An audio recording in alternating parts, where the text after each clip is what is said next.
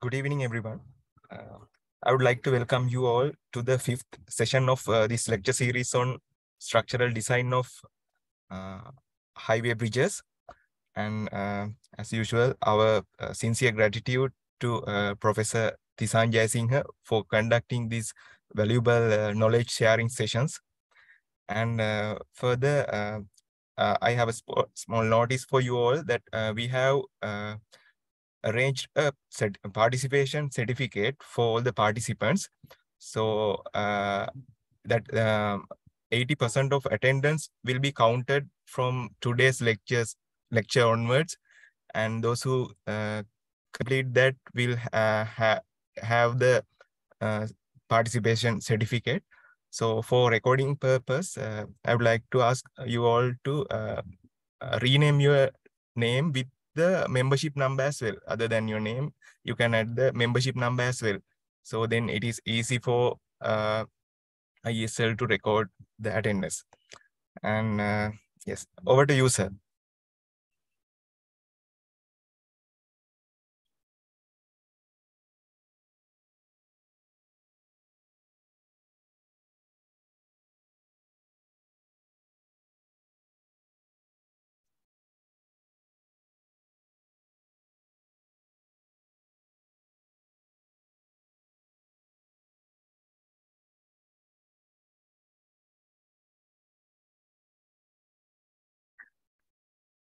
Good evening, Professor.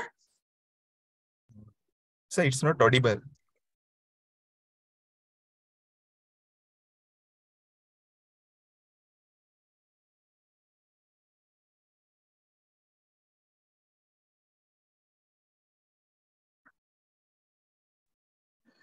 Can you hear me now? Ah, yes. Yeah, okay. Sorry about that. Right. So, uh, Right. So today we'll uh, talk about a little more on uh, reinforced concrete bridges. And uh, so far I have explained the theory. And uh, last time I explained how uh, we can find the uh, reinforcement as for the Eurocode as well. And I will take photos and send it to Engineer Banuka so that he can share all the all my notes with you. Uh, the, so basically, I have the notes with me, the last two sets of notes, but uh, uh, I have to take some photos and send it to you. So I'll do that uh, after the lecture. So, uh, so I'm now I'm going to uh, get the camera on. So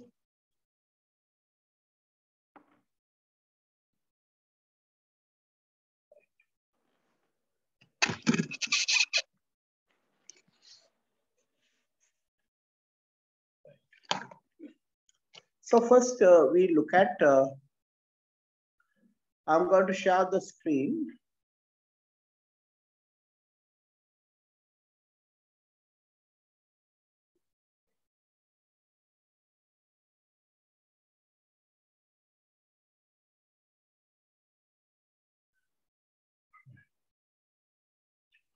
So this is the fifth lecture on our series.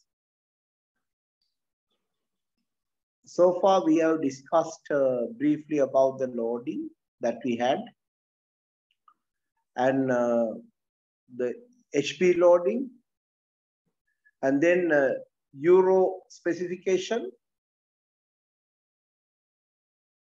and uh, the kind of uh, axles that you can place or single wheel loads and the abnormal loading uh, which can actually vary between 600 kilonewtons to 3600 kilonewtons or 60 tons to 360 tons. Earlier, uh, it used to be uh, 120, 100 tons to 180 tons. Now you can see uh, uh, a bigger range is given. So uh, depending on the type of highway that we are using this type of bridges, you have to make the decision. And uh, then uh, we also looked at this particular concept where uh, we go with uh, precast members uh, with the idea of minimizing the weight of the bridge, minimizing the weight of the bridge. And uh, we said we can go with this kind of uh, precast sections.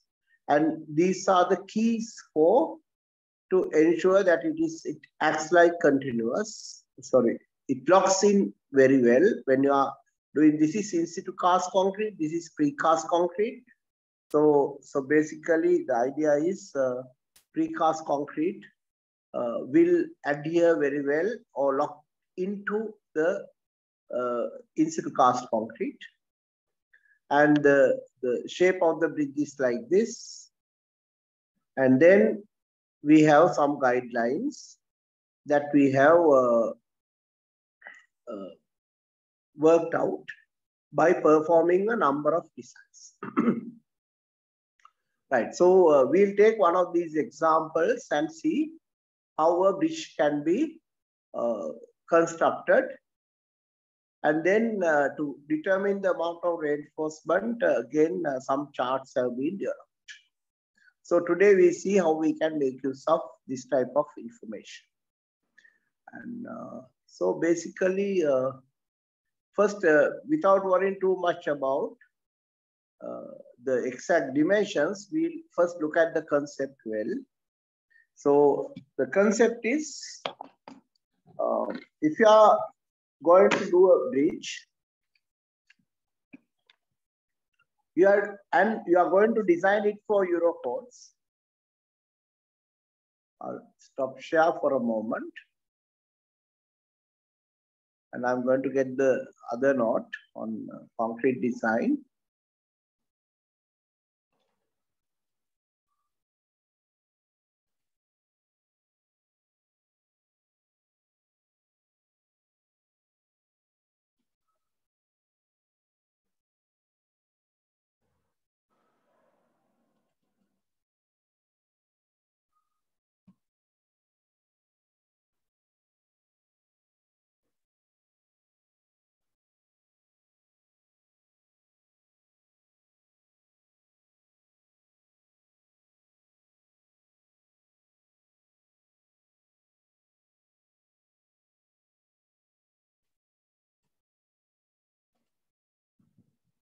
Just give me one minute until I get the notes open.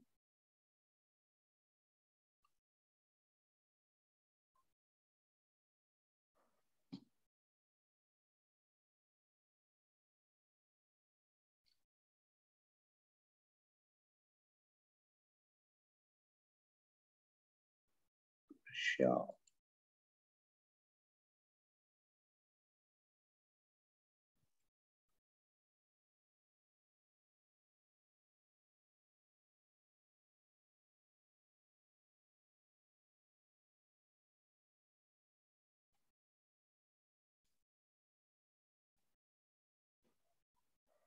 Right. So let's see uh, the cover requirement. Okay, let's look at the concrete properties first. Now we have to make a decision. What is the strength of concrete? Now, so we have to make a decision. What's the strength of concrete? For that, uh, we have to see uh, where are we going to precast? Precast. Where are we going to perform the precasting operation?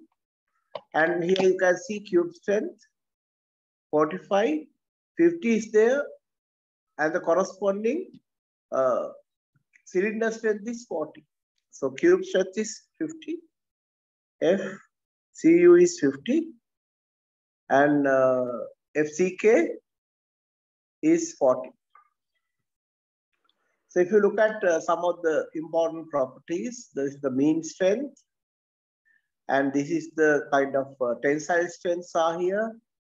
And then the elastic modulus is about 35. Elastic modulus is about 35. And, uh, you know, uh, the elongation, the, the maximum strain is 3.5. So basically, whatever the equations that we tried last time will be applicable. Uh, so last time we learned the where the method that Eurocode uses. So I'm going to use the same method, but I'm now trying to tell you how we approach the problem as a structural engineer who is going to design a reinforced concrete uh, structure. And uh, so, so based on all this information, now we have to see what are the cover requirements. So for that, uh, I'm sure you are familiar with all these things now. Now we have to see what are the cover requirements. And uh, you can see now this is XC3 is for concrete inside buildings with moderate or high air humidity. Now this is XC3 is the one that we generally use in, uh, in uh, buildings and external concrete sheltered from rain. This may be applicable uh, to uh, bridges. But on the other hand, we can go for XC4 right? XC4 is more stringent. And if you are using XC4 and uh, design working life 100 years, so increase the class by 2. And here C4050 reduce the class by 1 because we are using C4050. And uh, we are going to precast the members. So we, because when you are precasting, what is the difference between precasting and uh, normal uh, concreting operation? Normal concreting operation, we are going to walk on the reinforcement. Whereas in the case of precasting, we are not going to do any of those things. So which means uh, we here we it says increase the class by two. Here it says reduce the class by one and one. So which means we can use S4. And if you are using S4, for XC3, the cover requirement is 30 millimeters. 30 millimeters. Okay. So the cover requirement is 30 millimeters. Right. So let's see how this information can be used in a structural design.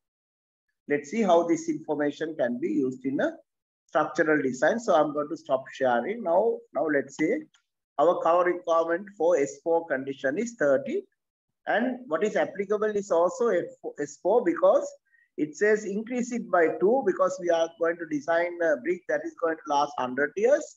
Then it says reduce by 1, reduce by 1. So which means when we are casting, uh, we can actually, uh, so we will keep this in mind. Uh, we, we really don't know how we can use it so far. Now let's say we look at the arrangement that we are going to use. So basically uh, uh, we'll have beams like this. So whether this is 300 or 350, you have to decide. And if you want, you can go up to 350. Uh, otherwise, 300 also might work. But uh, that all depends on uh, the the that all depends on the the weight of the beam that you are going to cast because you have to finally lift it up and place it. So you, you have to look at the capacity of the crane available for you. Now these days cranes are readily available so we can assume that we are going to make use of a crane. Now what is the most important parameter that we have decided? The most important parameter is what is this x? At which spacing we are going to have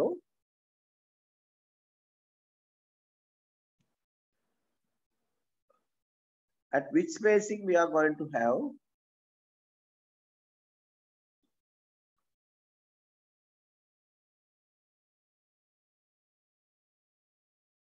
at which spacing we are going to have uh, these beams. So that's a, another one important parameter. And let's say we are going to have a depth of about 600 millimeters. Right? This is a typical case. I'm not, uh, I'm not, I'm trying to tell you how to think about it, right? So now Now we have to think about the loading. Let's say, you know, we are going to use BS 5400 part 1, part 2 loading of 1978. Because that's a, because you know, I mean, we may not be doing this kind of bridge in a major highway, but it will be, I mean, we want a cost effective bridge done. So, so we'll assume that, you know, this is going to be a normal road uh, and we are going to design a bridge to carry uh, a load uh, which is uh, equal to 30 kilonewtons per meter per lane. Then we have to decide what is the width of the lane and let's say we like to have 3.5 meters of lane. So I'm trying to tell you, you know, show you a typical problem and uh, how to think about it, right? So now we have to see. Uh, now one option is we can have the beams at 1.75 meters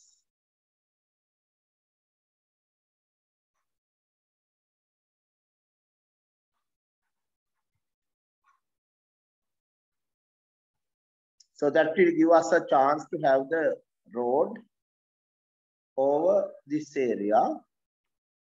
And then that will allow us to have the pedestrian pavement uh, with the, we have to make sure that we can accommodate the handrail, we have to have a curbstone, and uh, we'll uh, end up with something like uh, 1.6 meters for the pedestrian pavement. And we can repeat the same thing on this side. Uh, this is one of the, these are reasonable arrangement, right? So, so let's say, you know, we are, we like this arrangement and we have decided to go with this particular arrangement. That means X is going to be 1.75 meters, right? X is going to be 1.75 meters. So we can have another lane here, another pedestrian pavement altogether 1.75 into 3 plus uh, multiplied by 2. So, so the width is 1.75 into 6 approximate. So it's a 10.5 meter wide wide bridge.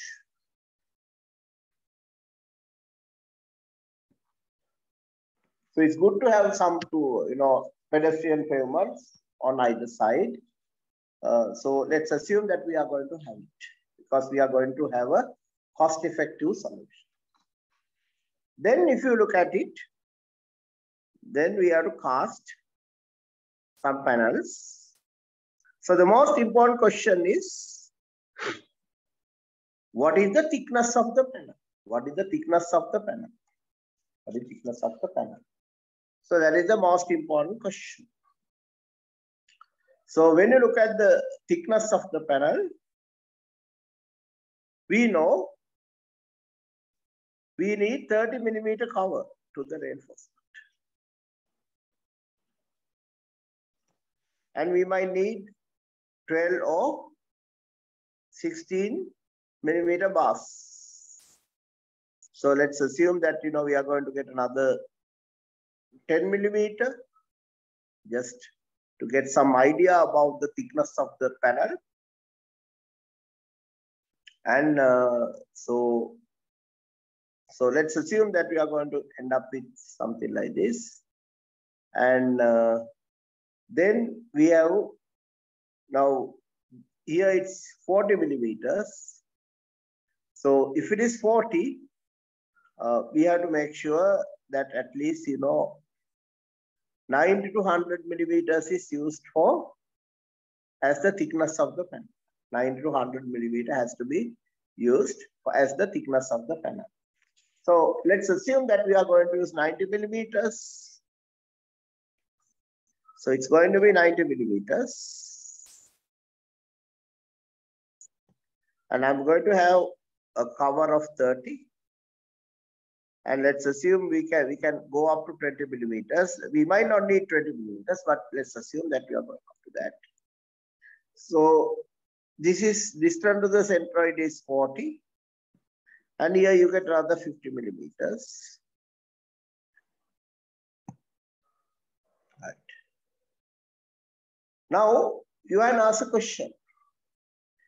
Uh, in Eurocode, uh, whatever the cover given by these uh,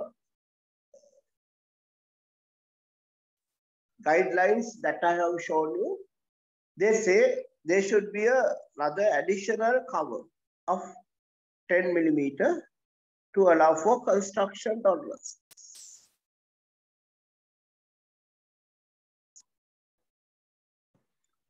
Now, if you are not, if you are going to precast, the question is, do you have to consider these construction tolerances?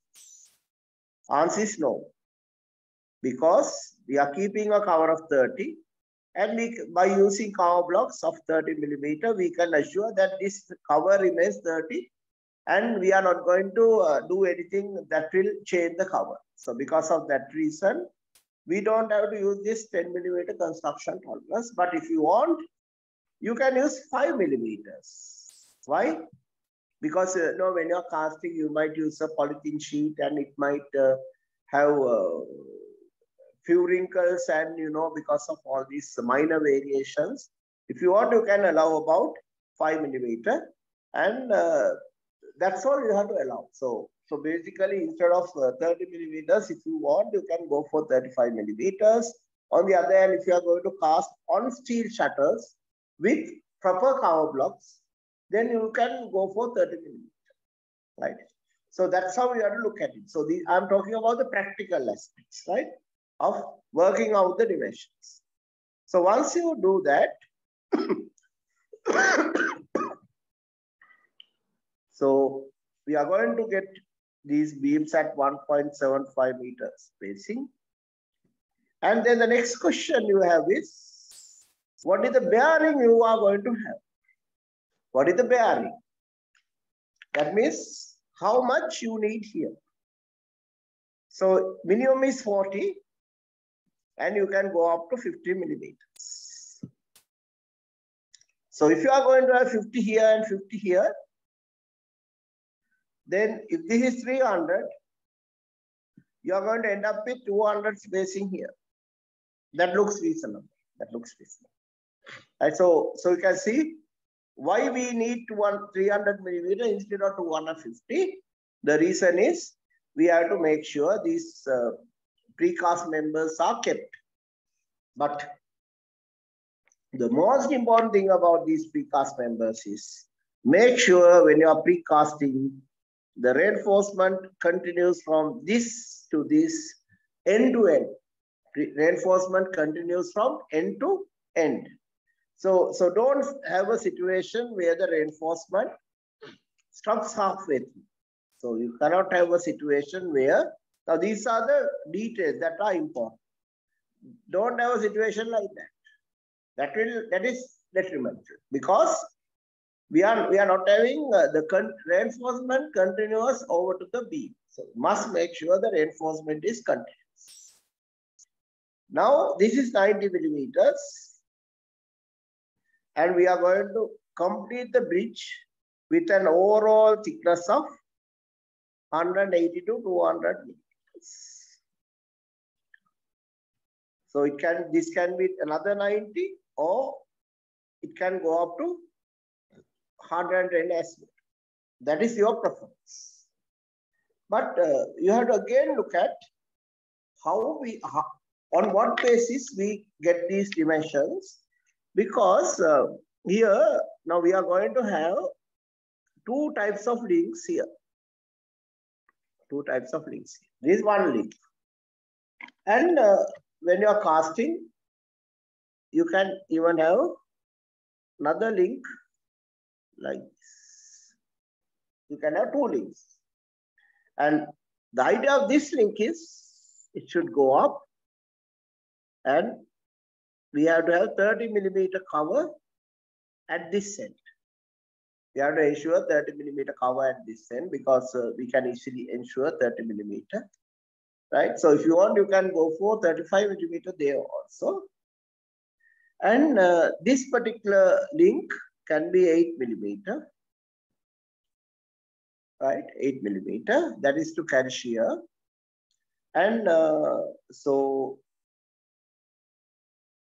in addition to that, we have to assure that we can place a reinforcement like that. Right? So when you consider all that, let's work out the dimensions by with an enlarged diagram. So here you get uh, this uh, green color line, green color line, and then you get uh, 30 millimeter cover, and reinforcement goes like this. And then there's a, at least a 12 millimeter reinforcement. And you might have something like another 12 millimeter reinforcement uh, continue. 12 millimeter continue. So here you get 30 plus 8 plus 12 plus 12. So get 24, 38 plus 24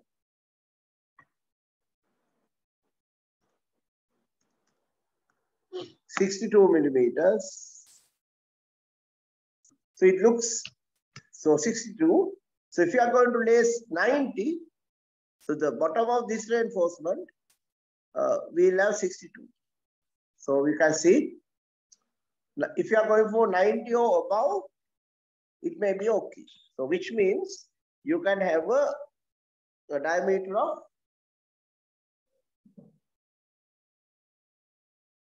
can have a diameter of, uh, sorry, you can have a thickness of, overall thickness of 180 to 200, provided the precast panel is 90 millimeters. So this is how you will work out the details for the bridge. It's very important we get the details accurate. And uh, today is 21st. 3, 20, 23, 1, 2. Right. So yeah, it's very important we get these the details very carefully uh, sorted out because before you start the structural design, we must work out this. Okay. Now, once you work out these details, you can look at the guidelines that are given. So now let's look at the guidelines. So let's look at the guidelines given. So the guideline is, now let's say we are going for a 12 meter span, 12 meter span. So that is a 40 feet bridge. Not a small bridge. We are going for 12 meter span. Are going for 12 meter spans. And uh, the size will be, uh, size of the beam will be 650 by 300, 650 by 300. The guideline given is 650 by 300 and uh, we are going to use it 650 by 300 and we are going to use it at 1.75 meter interval.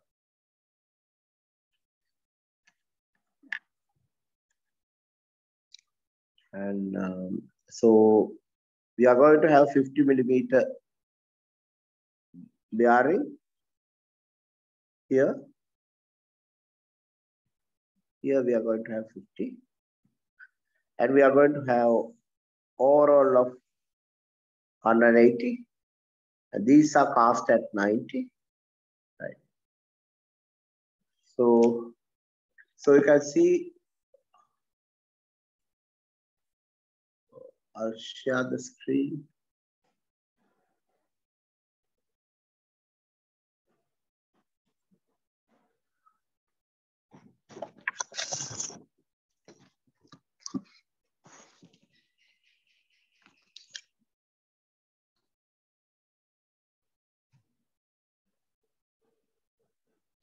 Right, so you can see uh, for 12 meter span, the size of the beam is 650 millimeters by 300, right? 650 by 300. And uh, so I'll stop share. So you can see 650 by 300 and uh, 1.75 meter spacing, right? And uh, this will be loaded primarily by HA loading, right? Which means uh, HA loading will be something like 30 divided by 3.5 equals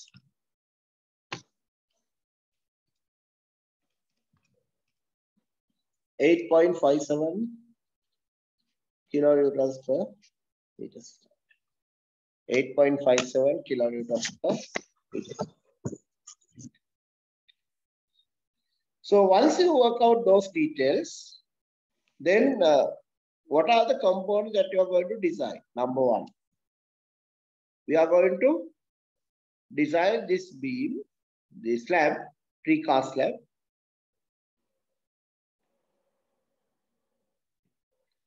And what is the load? The load is the weight of concrete that you are going to place and that is 90 millimeters thick concrete. And we have to think about the width of this member. So if you look at the width of the member, we prefer a width of 450 millimeters. You will ask why. Again, the answer is we are going to have three reinforcement and we are going to maintain a distance of 150 millimeters. And then we are going to place the other panel next to it. There also we can have this. So if this is 450, here you get 75. On this side also you get 75. So similarly here you get 75. So which means it's like H12 at 150. So that's why we prefer this 450 millimeter width because uh, by when you place the reinforcement, you can place the reinforcement at 150 center to center. But uh, depending on the reinforcement requirement, you can change the diameter. You can change the diameter. Again, you'll ask why 150? No, if you look at uh, bridges, bridge engineers have been very comfortable with this uh, 150 millimeter spacing for bridge decks. So uh, it's something that they have developed traditionally. The reason is uh, they actually look at the, um, the crack, possibility for cracking. In reinforced concrete, the easiest way to minimize cracking is use small diameter bars, but a large number of small diameter bars than using small number of large diameter bars. So, so they like uh, using small diameter bars like 12 millimeter at 150 to using 16 millimeter bars at 200. They prefer, they prefer using small diameter bars at close space. That's the reason. So that's something that, uh, you know, with experience, they have, they have noticed when you are using small diameter bars, then you can actually uh, improve uh, the performance because the chances for cracking would be minimal. So in that case, now this particular beam having a width of 0. Uh,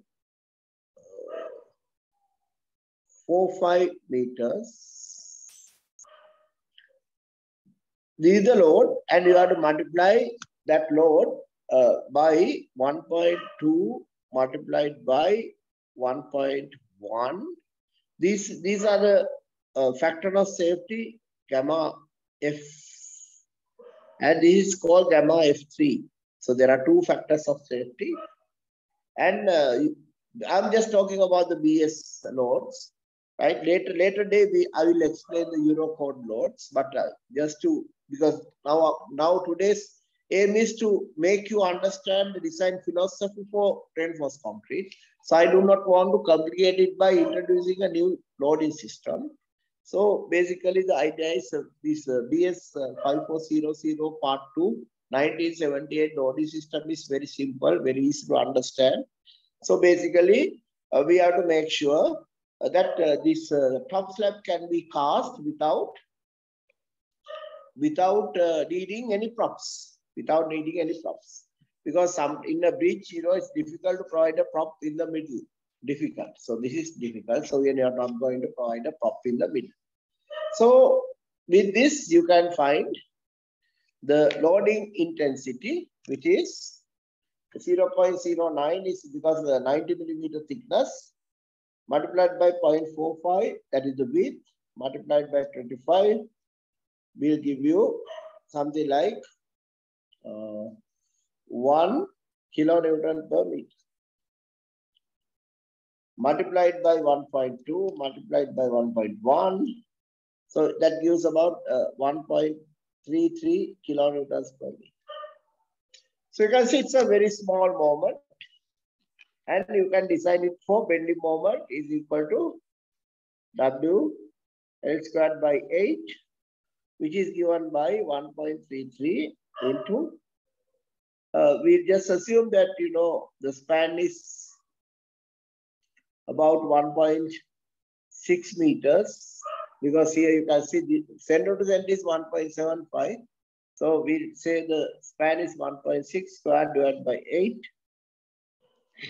And that gives a very small moment, 1.33 into 1.6 square divided by 8 and uh, 4256 bending moment and then uh, you know you can find the reinforcement. And let's say that is AS1 AS1 now what is the situation? So when you cast this the slab will become continuous like this. And now we are going to apply the live load moments. And due to those live load moments also, you are going to get another bending moment. And for that, you can find the reinforcement AS2. So when you are providing, ensure that what is provided with AS1 and AS2, AS1 for dead or plus self weight. So actually I have to consider the dead weight as well, self weight also. So basically uh, this will be doubled. So it should be uh, not 3.66 uh, because uh, this has to carry the self weight of the uh, beam as well. So altogether it's 2.66. So it will be 8.4. Uh, so here I considered only the weight of concrete, but the self weight is also there. So you have to consider both. So when you consider both, this will be, should be multiplied by 2. And uh, so you get 2.6. So this is dead plus self weight of concrete plus AS2 is what you get, what you need to uh, resist the, the bending moment in a continuous beam. So for the live loads, it is continuous. And you are applying a load equivalent to 8, 3, uh, 8.57, 8.57 kilonewtons per meter square, equivalent. These are the load, but equivalent, right? Okay. So, so for the for the for AS2, it is continuous. And AS1, it is simply supported. So that's the difference. So if it is continuous for AS2, then you have to make sure we have this situation and uh, we have this uh, reinforcement and this particular reinforcement is also provided. So here you get AS2 and here you get AS1 plus AS2. So whatever you get here, you can provide here as well. Why? Because there's a hogging moment. So you can actually calculate the hogging moment and I say AS3, right? But AS3 will be pretty similar to AS2. And then, so you get this coming here. This, the other additional reinforcement provided that way. So, so you have to provide all these. Why? For live loads, top slab could be continuous. You cannot say that it is perfectly continuous because uh, you know these pre RC beam is also going to deflect a little bit. So because of that, it's not a perfect continuous situation, but we assume a perfect continuous situation and we provide the reinforcement. So because we, we have a little bit of uncertainty, what is your what is the method? So you know here and here. Here we get AS1 plus AS2 and be little generous here. in the span. Here you can get what is AS. Is that clear? Why we are going to be little generous here is we know beams are supporting the slab and beams are also deflecting a little bit. Because of that reason, if the support settle, then uh, you can't make get the full effect of the support. So because of that reason, we will be little generous in the span. Whereas we can be strict with the support So that is something that you have to be keep in mind uh, when you are deciding the final reinforcement because there's only one way this slab bridge can fail. Where is it? It is at this. In this section, it can fail and that failure occurs due to sagging moment. So the best way to resist sagging is be little generous with this particular reference. So that's something you can keep in mind, right?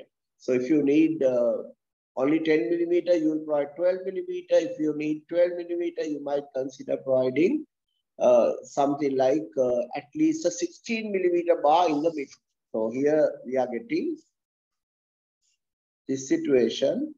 So the middle bar can be, you need only 12 millimeter, but middle bar you might try 16 millimeter. And these can be 12 millimeter. So in that way, you are providing little extra reinforcement than the minimum you need.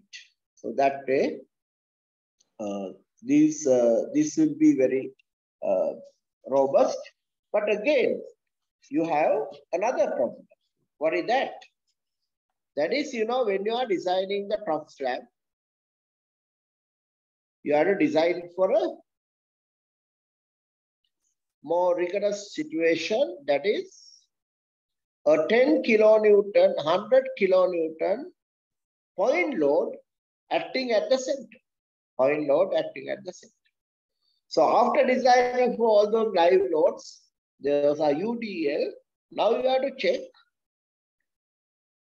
for this particular situation. Check for this particular situation. Now we have a problem because we are having panels like this. Each panel is 450, 450, 450. Now we are going to have a patch load. And what is the area of the patch? The load is 100 kilonewtons. The stress has to be 1.1 newtons per millimeter squared. So uh, force divided by area is equal to stress. That means area is equal to force is 100 into 10 to the power 3 newtons divided by stress 1.1 and and once you take the so what you get is 100 100 to the power 3 divided by 1.1 so 90,909 millimeters squared and take the square root of that area. So you can see the contact area of the load is 301 millimeter by 301. So it will need a contact area of 301 millimeter by 301. So you are going to get a patch load here. Now you have a problem because there are this, this, this huge load is going to act on one panel, one precast panel. So what you do is, uh, we have done some uh, load sharing uh, because we are going to have a street concrete and this concrete is there. So whatever the load will be distributed, though these panels are separate, the loads will be distributed. So we say this panel carry 40% of the load, this every 30%. So although you have to design for a 100 kilonewton load, you will design it only for a 40 kilonewton, uh, 40% of the load or 40 kilonewton load acting at the center. It's very important. Otherwise, if you try to design for 100 kilonewton, you will find you need enormous amount of reinforcement in the in the top slab.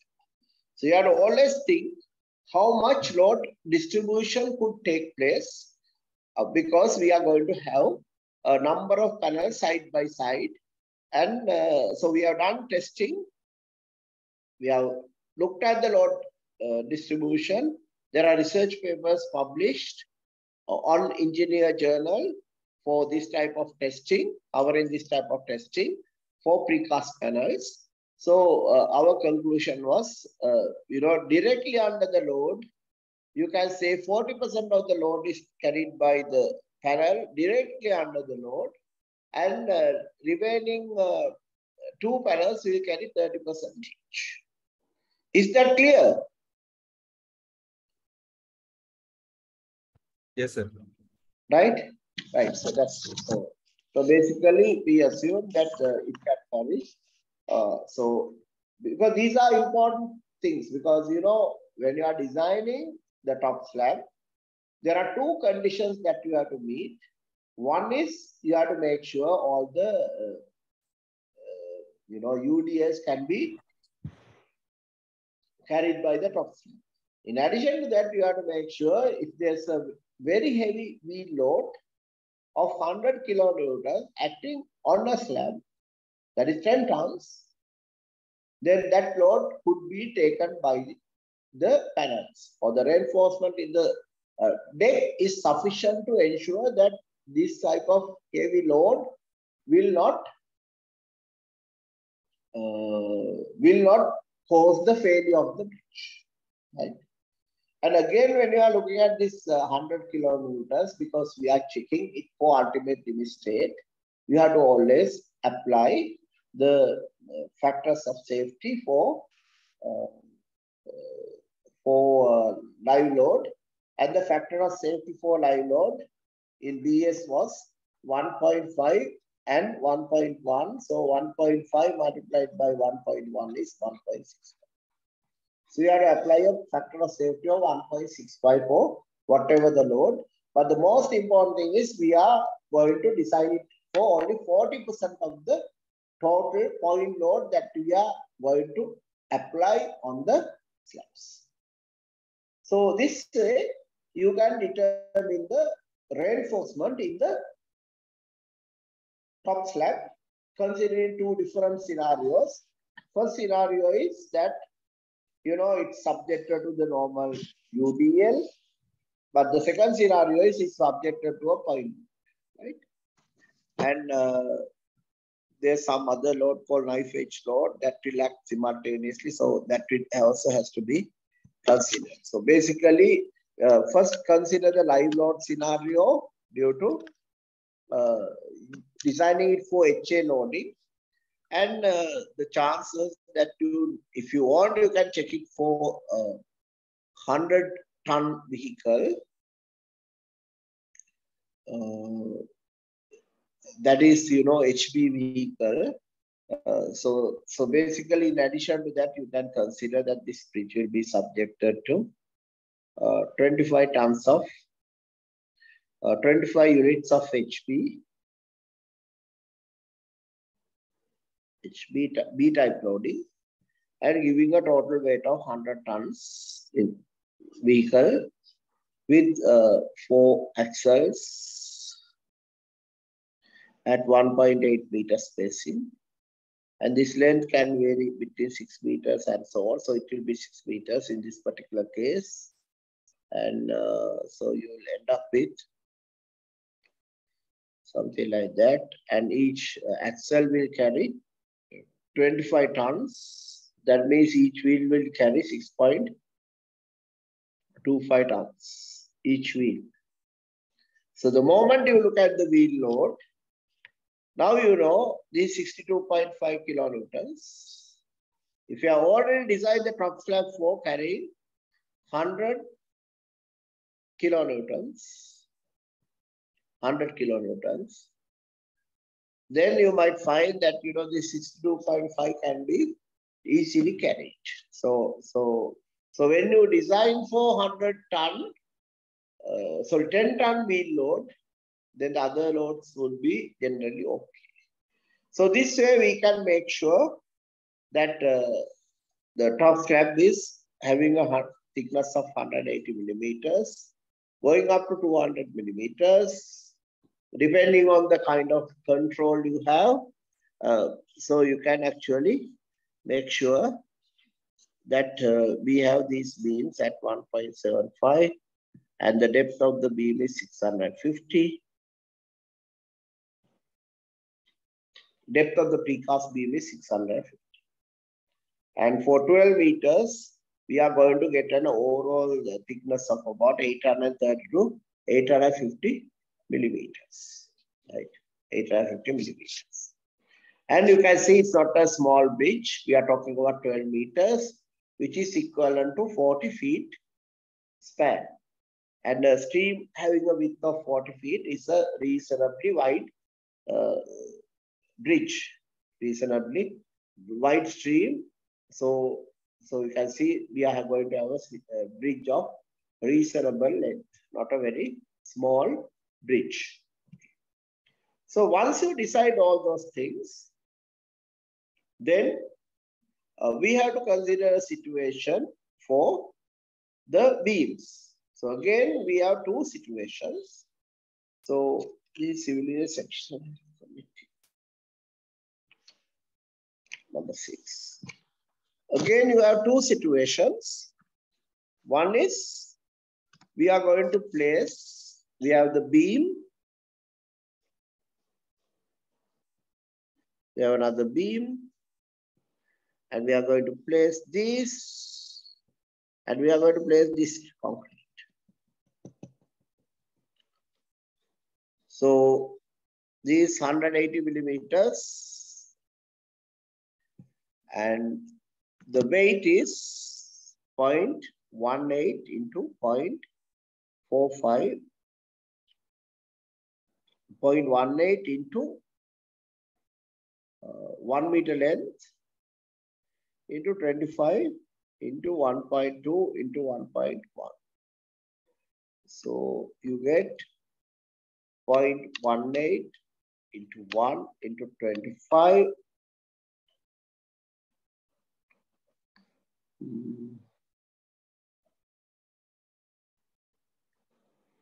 0.18 thickness, 1 meter length, and uh, sorry, multiplied by 1.75 meters. So this way you get 1.75 meters. 1.75 into 0.18 into 1 multiplied by 25 multiplied by 1.2 multiplied by 1.2. So you are going to get a beam simply supported at 12 meter span and carrying a load of 10.395 plus self weight. So let's assume that all that comes to 11 kilonewtons per meter. So WL squared of 8 is equal to 11 into 12 squared divided by 8. That is 11 into 12 squared divided by 8. 198 kilonewton meters. So it has to be designed to carry 198 kilonewton meters. Uh, for a 600 millimeter deep beam, uh, it's not a major moment because last time we took an example of 600 by 300 beam as far as I can remember and uh, we ended up uh, with a reinforcement. So for example, if I tell you the kind of reinforcement you need, uh, it's about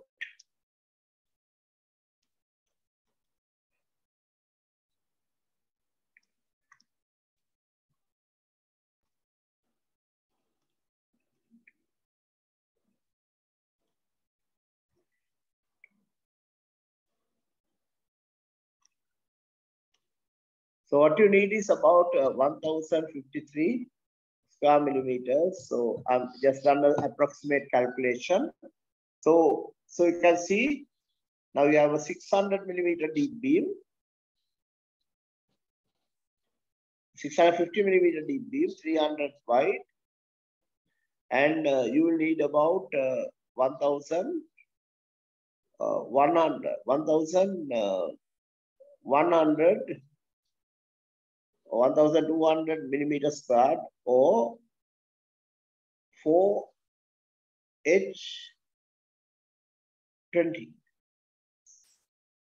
4H20. You need something like 4H20.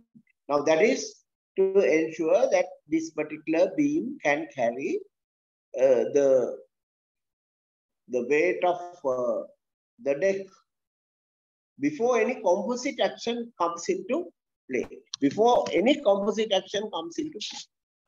Right. So that's uh, that's something that you have to first we can identify. So we can say again the first situation, the reinforcement. Now we have to see how this bridge is going to behave when it is subjected to uh, live loads. How it's going to behave when it's subjected to live loads. Right. So when subjected live loads, what happens? Now this bridge, the whole structure is effective. So this will behave primarily as a flange beam.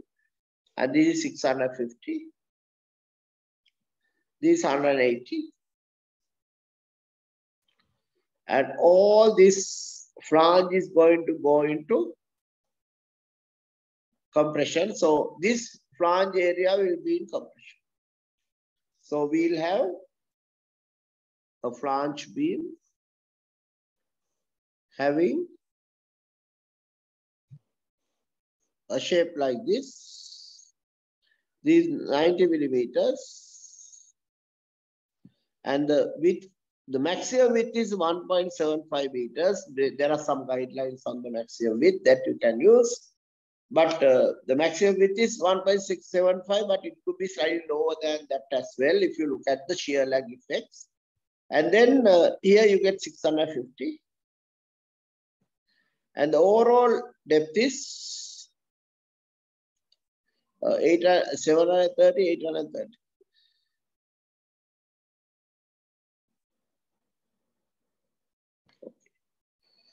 Now the live loads are going to act on it. And if I approximately take the live load on that with a magnitude of 8.57 kilonewtons per meter squared, right? So the beam will now be subjected to uh, 1.75 into 8.57 multiplied by uh, 1.2 in 1.5 into 1.1. These are approximate values, but gives a good, good approximation. So you get 1.75 multiplied by 8.57 multiplied by 1.5 multiplied by 1.1. So you get 24.74 kilonewtons per meter. Now you can compare these two. Compare these two because uh, earlier we have already considered the weight due to uh, the weight of the panels plus beam as 11 kilonewtons per meter. Now you can say, see, we can we are designing it for a live load of 24.74 kilonewtons per meter, right? And then you can see if you take uh, now again this beam is going to behave as simply supported W squared over 8 is equal to 24.74 into uh, 12 squared divided by 8 and the answer is 24.74 multiplied by 144 divided by 8 so 445 kilonewton meters. So you can see, uh, because you know, every 1.75 meters, we are going to have a, a beam. So the B load carried by a beam is whatever the live load that acts over 1.75 meters, right? So now we are going to get about 445 kilonewton meters, but we have an advantageous position now because we are having a beam of 830 millimeters of depth and above all, we are going to get a with flange width of 1750 millimeters. And so effective depth of uh, something like, uh, let's say, uh, 760.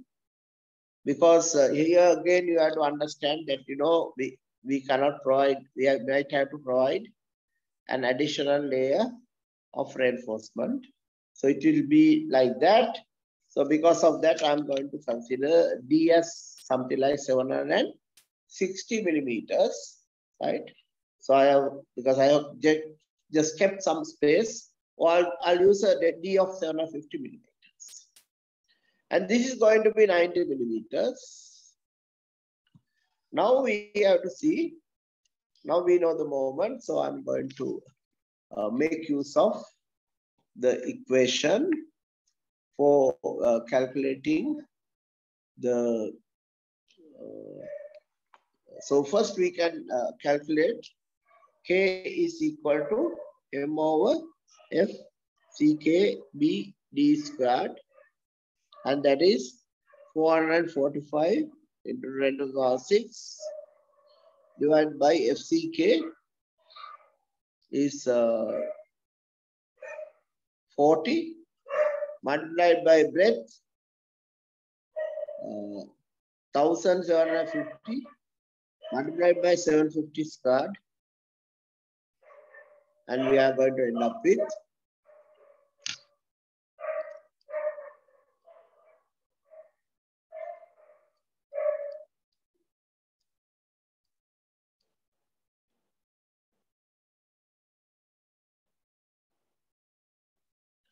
One hundred forty-five to the power six divided by forty divided by 1750 divided by seven hundred fifty.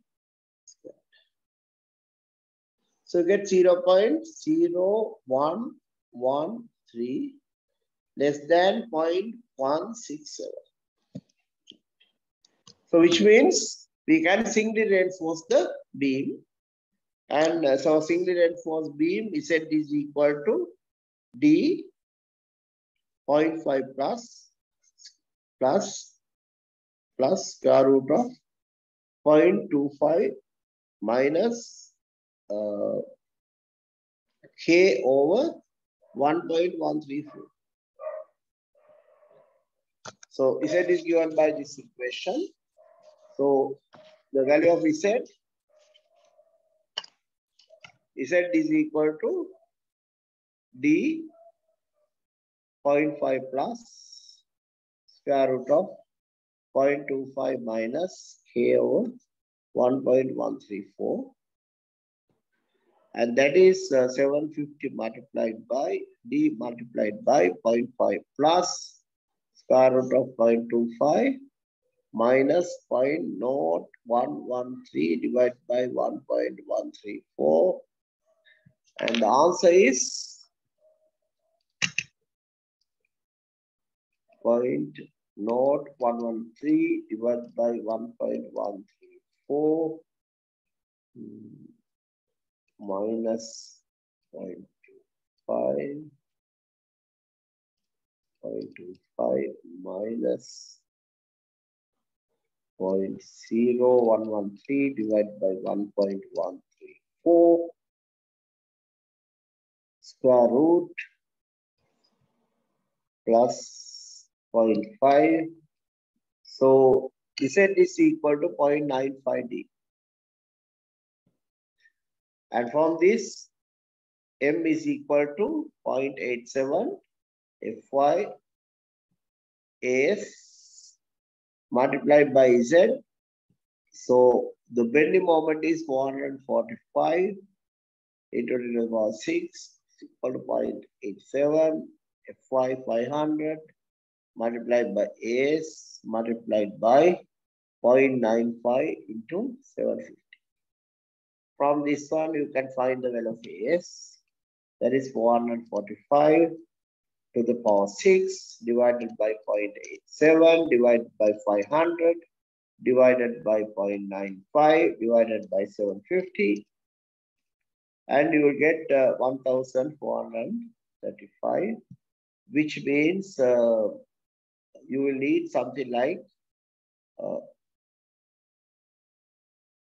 3 3 of H25 giving 490 into 3, 1470.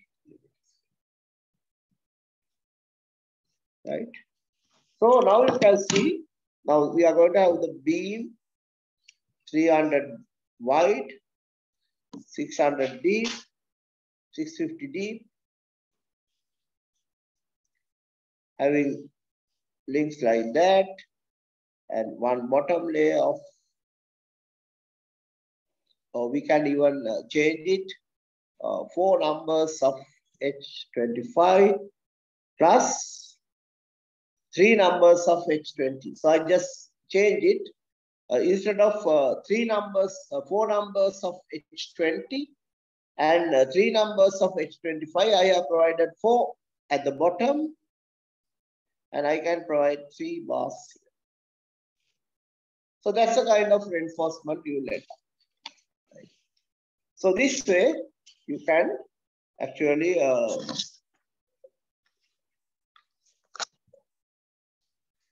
provide the reinforcement. And you can see this is a significant saving in the reinforcement because you need lot of reinforcement only in this particular beam to carry the loads. So the actual, uh, because I have ignored some of the loads, so the chances are you might end up with 8H20. If you, if you have considered all the loads accurately, because I have ignored some of the knife edge loads and so on. So if you have considered all the loads, you might end up with something like 8H25 in the beam. So if you look at the situation is that you will have a bridge having a precast beam beam of 650 wide, 300 deep. And if you look at the weight of the precast beam, it's going to be 0.65 into 0.3 into 25. So it's about uh, 5 kilonewtons per meter weight. The weight of the beam will be about 5 kilonewtons per meter. Weight of the beam will be about 5 kilonewtons per meter, right? And uh, so that means 5 into 12 is 60 kilonewtons or 6 tons. So if you are going to lift the beam, you need a crane of 6 tons. So if you can hire a 10 ton crane, then you should be able to manage it. And then we are going to have this and the reinforcement will be like this.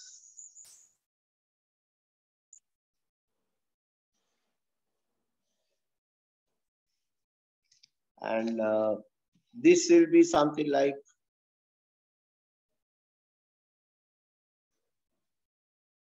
eight H25. Then uh, you might need links. But uh, when it comes to links, you are, you are look at the shear force and you can see uh, that the total weight, total shear will be due to uh, two, two, two different loads, two different loads. And one load is like uh, one load is about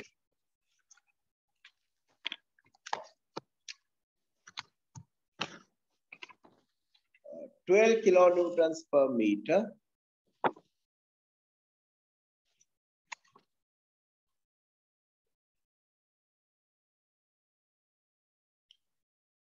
So I think uh, it will be about 11 plus the self weight. So it may be about uh, 10.395 plus self weight of 5 kilonewtons per meter. So which is about 15.395 plus the other weight is uh, the live load and live load we calculated it as something like uh, 20 4.5, 24.75 kilonewtons per meter. Right. So the total total will be uh, 24.75 plus 15.395. So the total is about 40 kilonewtons per meter. so now the sheet, so we have a beam, 12 meters, 12 meters of length and subjected to a load of 40 kilonewtons per meter. And uh, so the shear force is going to be 0.5 times 40 uh, multiplied by 12 or WL over 2, which gives 0.5 multiplied by 40 multiplied by 12, something like 240 kilonewtons. And uh, that is, this page is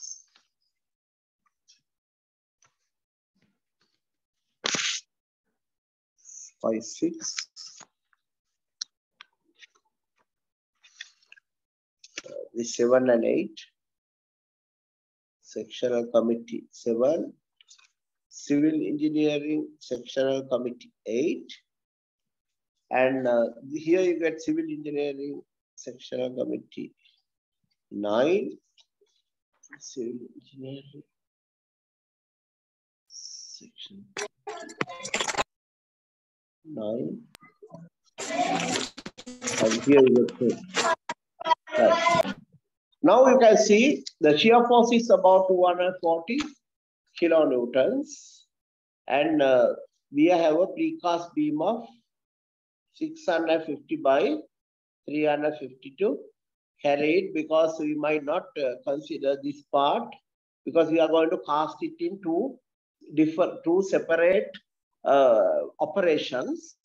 So we it will be conservative for us to consider that only the precast beam will carry all the shear force. So if you look at simple B, that is shear stress, that is 240 into 10 to the power 3 divided by uh, 600 divided by 350. Uh, simple V is equal to capital B over BD.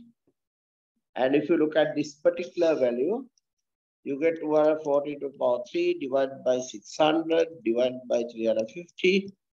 And the answer is 1.14. Simple V is 1.14. And you will find it's not a very significant shear stress. So it's a shear stress is very low. And that is the beauty of this method. Why? Because we are reducing the self-weight as much as possible. We cannot do anything about lime. But what we do is we select sufficient number of beams at a reasonable spacing like 1.75 so each beam will carry only half the, the lay load. So this way we are keeping the weight of the bridge low and the B each beam is carrying only half the live load per lay. So that way we are actually keeping the the shear sufficiently low and flexure is also sufficiently low. So the, the biggest advantage of this system is this one. Self-weight is kept as low as possible. And in doing so, we are optimizing the structure to the level that it becomes it becomes uh, fairly economical because uh, we have removed a huge penalty associated with self-weight. Self-weight is a huge penalty.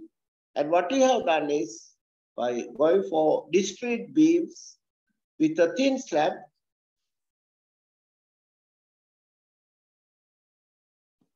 with a thin slab, we have uh, minimized the amount of uh, material in it.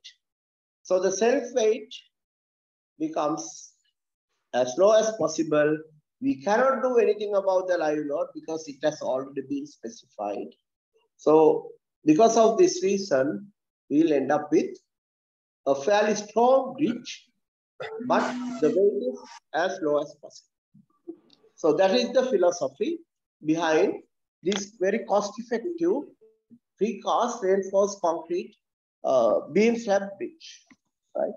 So I have done some calculations, not all the calculations. I have shown you how the reinforcement can be calculated. And then I showed that the shear stress is also sufficiently low. So uh, most of, mostly you will find H8 links at 100 center to center would be sufficient uh, at the in the close to the support right so the chances are you will find that uh,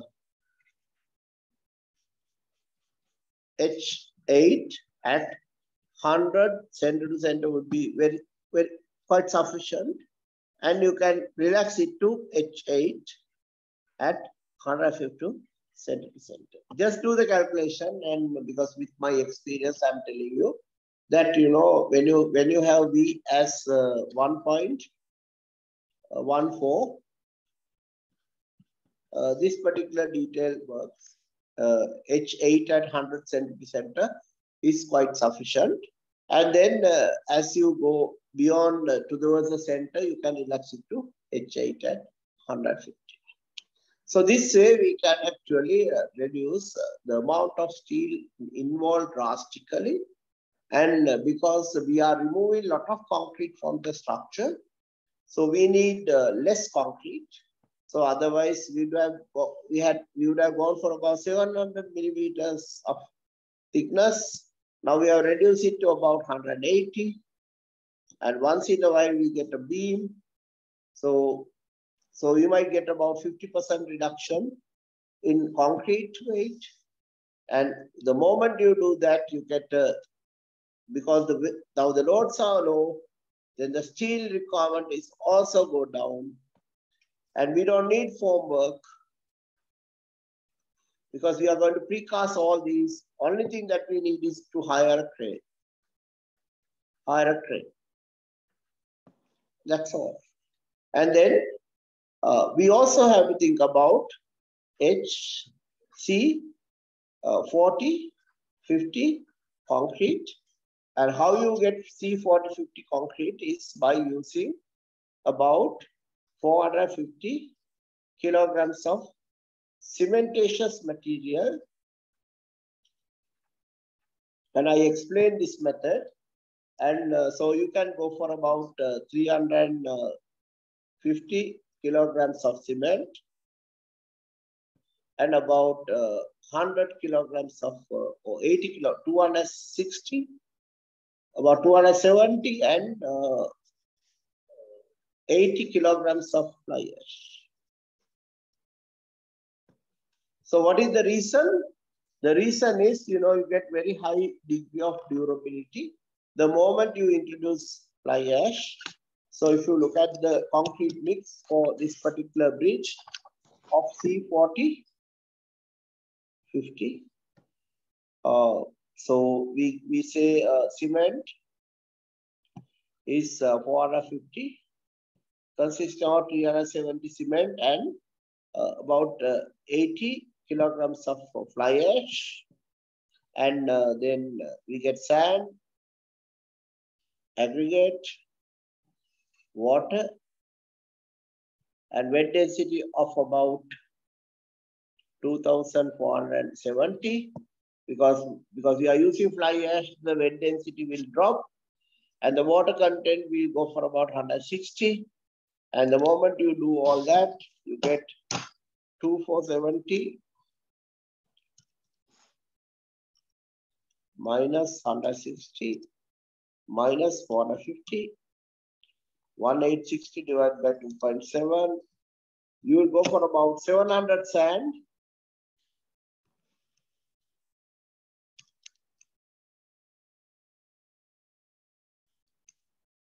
And 1160 aggregates. And out of this, you will go for about uh, 150 quarry dust and about 550 manufactured sand. And here you go, go for about 160 chips and 510 millimeter and 520 millimeter. On the other hand, you can go for uh, 20, 80 here and 20, 40, 40 here. So it's all up to you. You decide on the values. And uh, so to ensure that you go for proper weigh batching, we can prepare separate weigh boxes for each item. And uh, that way we can convert uh, the, we use a density of 1.6 for uh, 1.6 specific gravity of 1.6 for sand 1.7 for aggregate and 1.4 for cement and 1.0 for water. So that way you can work out the, the these are the densities. So density of cement is about 1,400 kilograms per meter cube and uh, sand will be about 1,600 kilograms per meter cube. And this will be about uh, 1,700 kilograms per meter cube. So based on that, you can work out the volume of each item. And then you can ensure that uh, we go for a uh, curve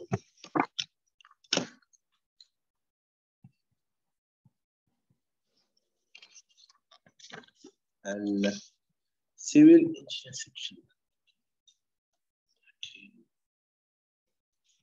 So we go for a curve like this, strength, curve. So this is 40.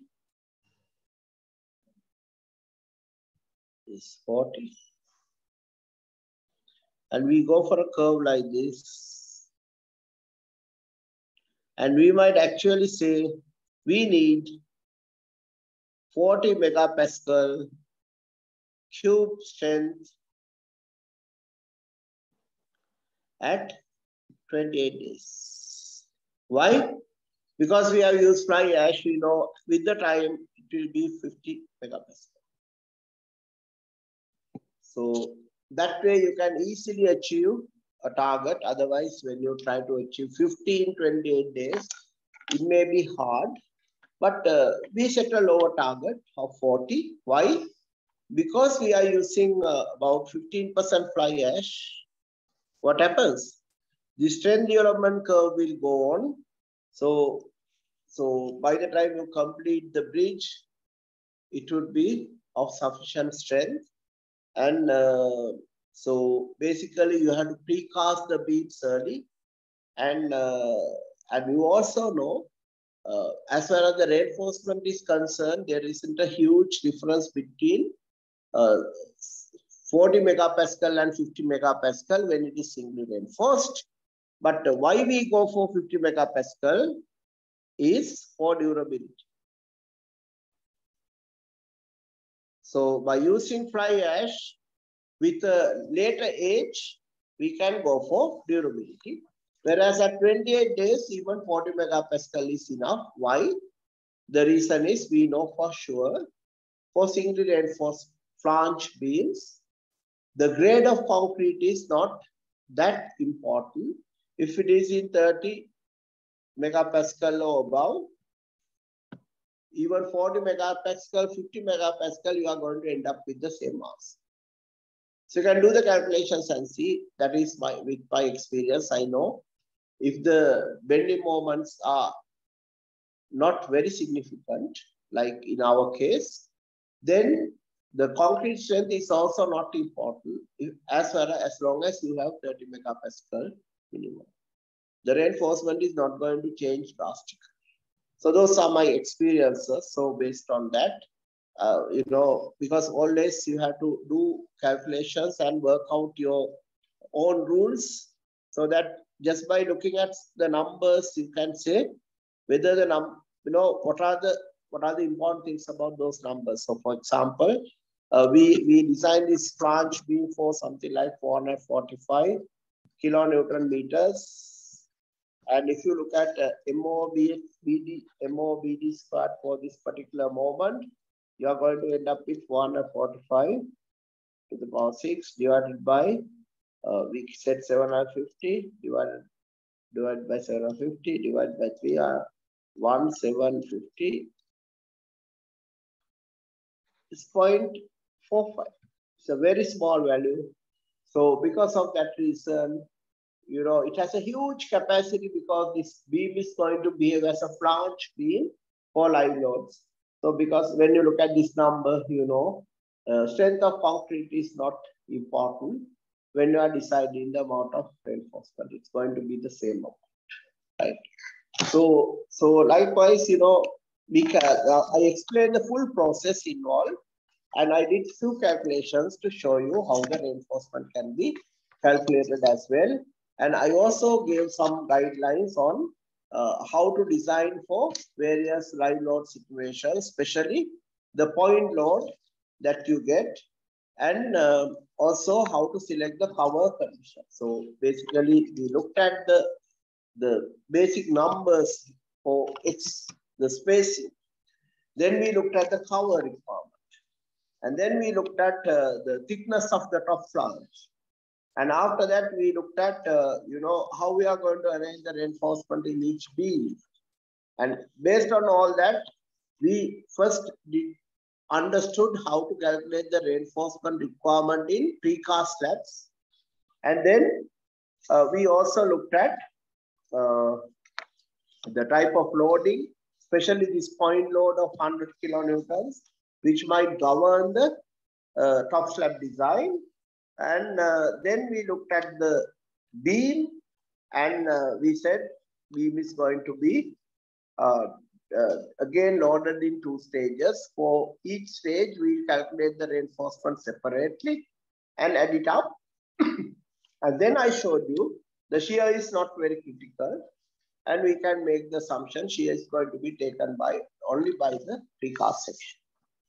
And then I showed you how uh, the, the grade of concrete can be looked at and then why it's important to uh, ensure the durability at a later stage, a strength, while worrying only about the 28 day strength for strength, uh, for the concrete strength, when calculating the reinforcement, and I showed you that it is not actually governed by the strength of concrete. So as far as long as you have something about 30 megapascal, it's going to work. So that's the kind of, uh, you know, the practical approach of designing a very cost-effective bridge by using high strength reinforced concrete. So concrete is going to be high strength concrete like 50 megapascal or more uh, with time. And uh, we are going to use 500 megapascal reinforcement.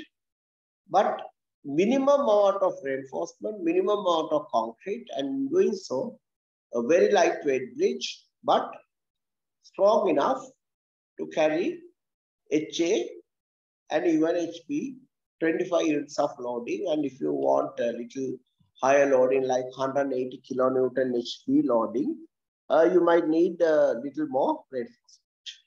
So with that, uh, I can come to the end. And if you have any questions, I can ask. Any questions? Uh, yes, uh, there, at the very beginning, uh, there was a question. What is the basis for choosing 1.75 meter as the beam spacing? So actually, uh, I wanted to use uh, 3.5 meter wide uh, lanes for the vehicles. Because if you look at the type of vehicles that we use in our roads, our buses are 2.4 meters wide. Cars are 1.6 to 1.6 meters wide. So, so the dominating vehicle is bus. So if the bus is 2.4 meters wide, if you have only 3 meter lanes, then the lane lane is too too too narrow. So it's a go. It's it's better to go for 3.5 meter wide lanes. So if you are going to have 3.5 meter wide lanes, it's better to have this uh, beam spaced at 1.75 meter. Is that clear? Yes. And Right. there was another question. Uh, could Yeah. you please recommend a book to refer on structural design of highway bridges under BS codes? The BS codes? Hmm. Actually, uh, you know, uh, uh, Clark, the book by Clark, uh, L.A. Clark, BS 5400 by L.A. Clark, right? L.A. Clark. It's a very famous book. It explains how BS 5400 has been derived. It's a fantastic book. It covers, it gives a lot of uh, examples as well. One of the top, you know, one of the best books ever written. Clark is a very well-known uh, uh, researcher who was associated with bridges. He has, he has developed so many things in uh, bridges. So yes, he had in-depth knowledge. And in his book, he has explained A to Z of uh, how BS codes are derived. It's the best book. Okay. So uh, for, for PT, I'm going to start next week. Right. So today is only RC.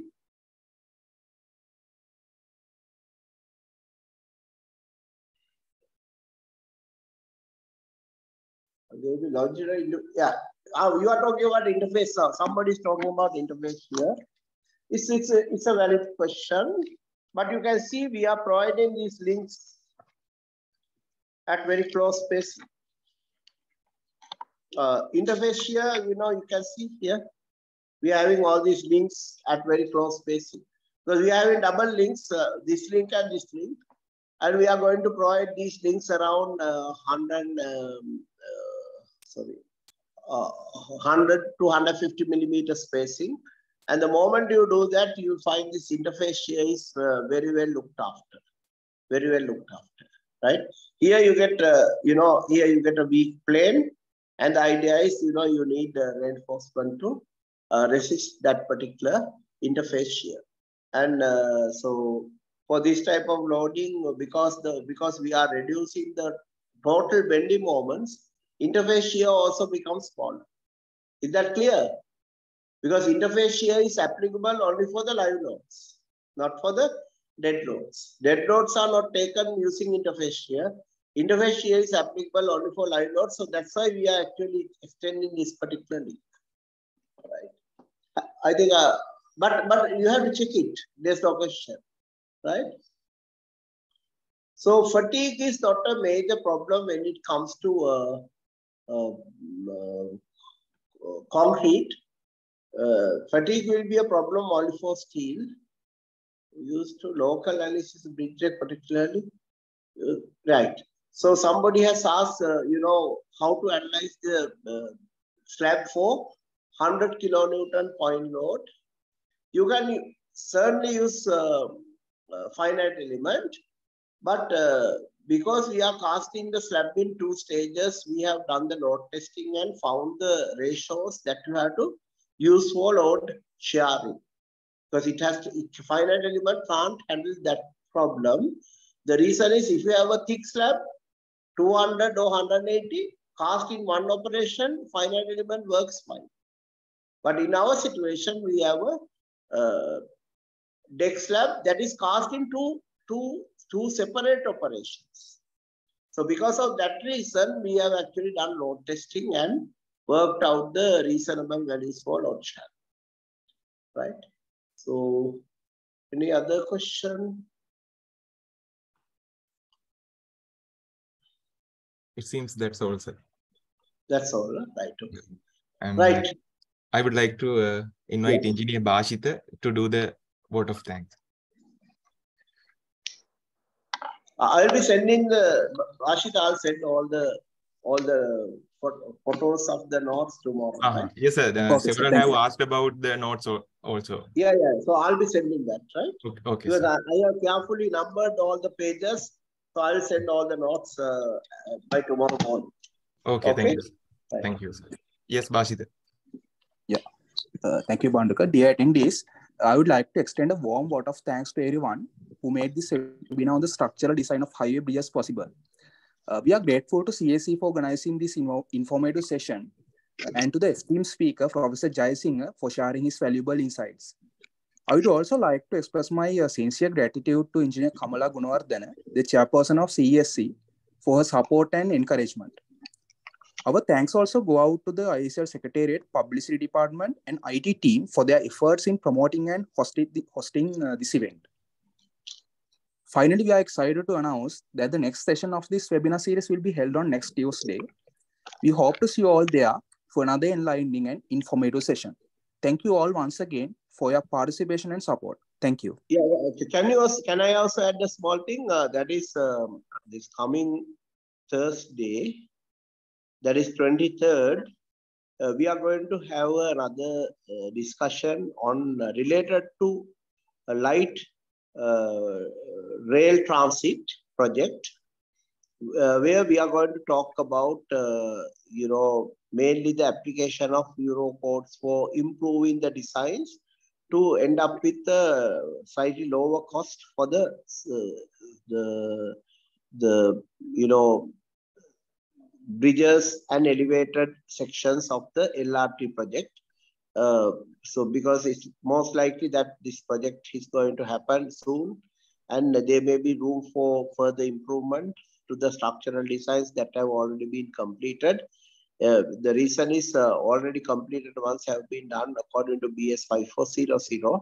Whereas if we decide to go for Euro codes with higher strength materials, and also if we start decide to use latest piling techniques and all that there is a significant uh, possibility for uh, improving uh, the designs and you know reducing the cost So uh, we are going to have a panel discussion on this particular topic on uh, Thursday, uh, that is 23rd, uh, at IESL. Moderator is uh, Dr. Devasurendra, who was, is a mechanical engineer, and uh, Professor Anjit Disanayaka will also participate. So we are going to uh, talk about various options that are available for us to consider and we'll come up with some, uh, you know, presentations on uh, various aspects that can be useful. So if you are interested, please join that particular uh, hybrid mode, uh, you know, brainstorming session. Okay, panel discussion. Okay, so I will share that flyer in our uh, WhatsApp yeah, group. Yeah. Yes, yes. I, I, saw I saw the same flyer, but uh, you'd better share share it. Okay, sir. Uh, okay, then. Okay. Thank you very much. Thank you, everyone. Good night. Thank you, Professor. Thank you, everyone. Thank you. Thank you very much. Thank you very much. Thank you. Thank you.